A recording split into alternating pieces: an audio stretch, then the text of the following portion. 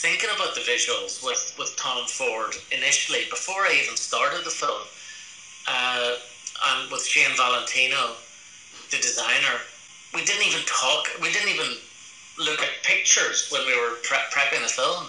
He said, Look, I just want to talk into the, the imagery because pictures are so totemic and so big and powerful that uh, let's just find the visual direction before we start slapping pictures around because that'll just kind of uh, crowd the imagery. And uh, he was absolutely right because by the end of two weeks of talking into the, the, the film uh, with Arianne Phillips, the, the, uh, design, the uh, costume designer, and, and the location manager, Stevenson Crossley, and Shane Valentino, the designer, we finally found common ground that then we were able to bring pictures into, and it really distilled the imagery into an area that we all felt was cohesive.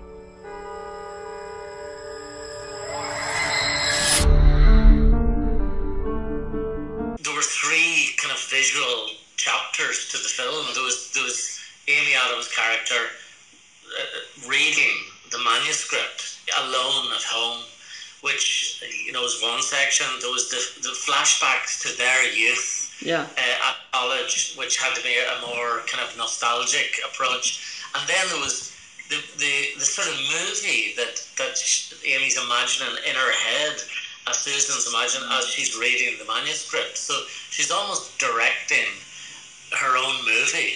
He sent me this book that he's written.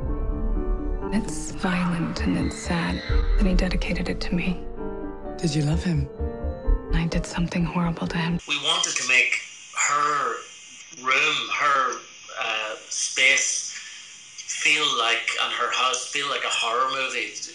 Tom Ford really wanted this sense that she was being observed, that there, almost like there was an intruder in the house, that we could see frames within frames, like Douglas Sirk half half frames or that the camera would be higher on her, almost observing her like a celestial perspective. The slightly creepy angles, and you know, a very, very tiny movement, you know, so that, that it's encroaching on her the whole time. Were you sleeping? You scared me the last time we talked. You know me. I never sleep. Then the, the movie that she's seeing in her head we wanted it to have more saturation. Definitely, uh, pre, you know, her her house had a lot of greys and darker colours and certainly less saturation. But the, the, movie itself had to have a sense of it was being like almost like a western. It's a question of how serious you are about seeing justice done. The colour red was very important as a, as a harbinger of doom.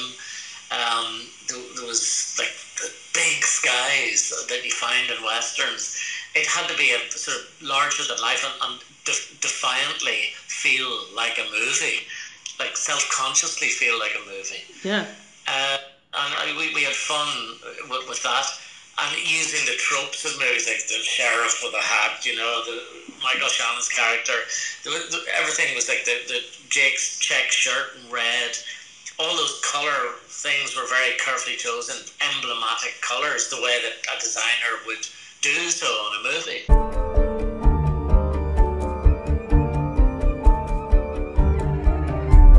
What are we gonna do? And then the, the, the flashbacks were sort of more innocent, had more levity, a little bit more movement, more accidental, and, and uh, a little bit paler and I used diffusion on those as well to help with uh, their their faces being younger. Yeah. Although I think a, a little, little bit of work was done maybe in post with uh, a little bit of CGI to remove the odd wrinkle or two. Nobody gets away what you did. Nobody.